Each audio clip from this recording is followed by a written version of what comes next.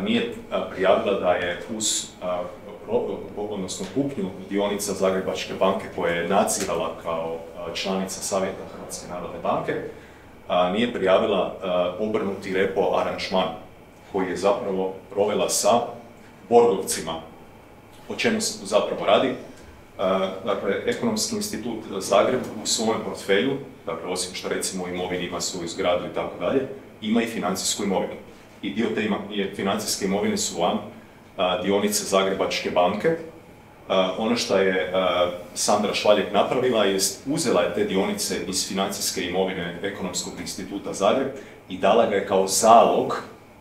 znači dala ga je kao zalog Borg grupi, dakle, koja je poznata još iz afere Agrokor, koja je na temelju tog zaloga dala novce s kojim je ona kupovala dionice Zagrebačke banke. Dakle, ponavljam, imala je u svom financijskom portfelju već dionice Zagrebačke banke koji je institut imao. Uzela je kao zalog dakle, te dionice Zagrebačke banke, dala ga je Borgovcima na dvadesetak dana, uzela je te novce od, od Borg, dakle Inter, Interkapitala i ICAM DOO, dobit ćete sve te podatke, na temelju tog novaca, novca je kupila dodatne dionice Zagrebačke banke i ostvarila je zapravo protupravnu imovinsku korist za subjekt Ekonomskog instituta Zagreb kao članica Savjeta Hrvatske narodne banke. Dakle, kaznena prijava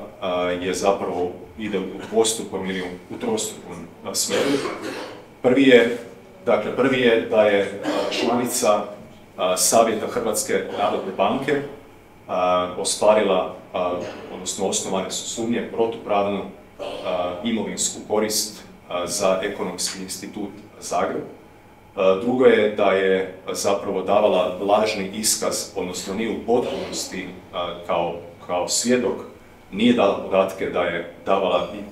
ovaj, imovinu Ekonomskog instituta Zagreb, dakle borgovcima koji su dali novce na temelju kojih je ona kupovala dionice, što je zapravo iznimna špekulacija, jer se moglo dogoditi na tržištu da cijene dionice Zagrebačke banke padnu, a ona je to imala te informacije kao članica Savjeta Hrvatske narodne banke,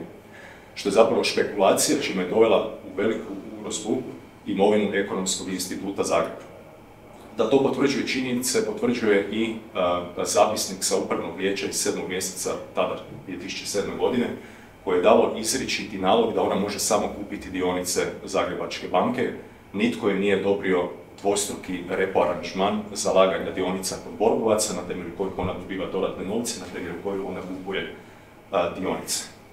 kaznena prijava je napisana na hrvatskom i na engleskom jeziku, tako da ona će biti predana Županijskom državnom odvjetništvu ovaj tjedan zajedno sa svim dokazima koje imamo i koje smo vrlo iscrpno naveli u kaznenoj prijavi, gdje smo korak po korak navodili zapravo šta je ona radila i gdje je zapravo osobno davala naloge, sad naglašavam, osobno je davala naloge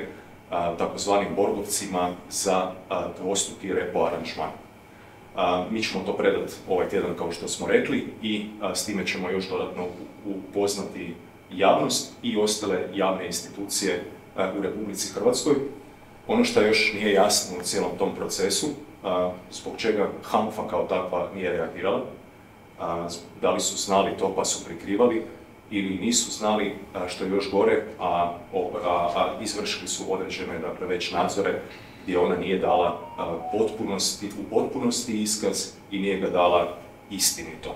Dakle, tu je ispitivanje dodatno hanfine uloge, zbog čega nisu ove stvari objavljivali, jer je na kraju dana to zadatak regulatorne agencije.